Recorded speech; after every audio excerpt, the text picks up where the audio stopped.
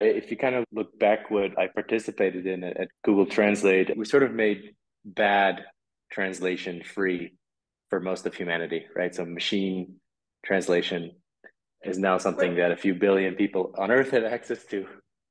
Wait a minute, wait a minute. So you just said you worked at Google Translate to make bad translation free? That was the net effect of it, right? Which is a great thing. In the human translation industry, it's fun to make fun of that. But the reality is, for most of the people on Earth, it's the difference between no translation or a bad translation. And, and a bad translation is better than no translation.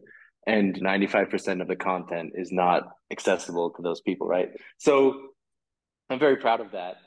And I think it's a great thing for humanity. And they've continued to do that without me, added many more languages, a lot more people online, right?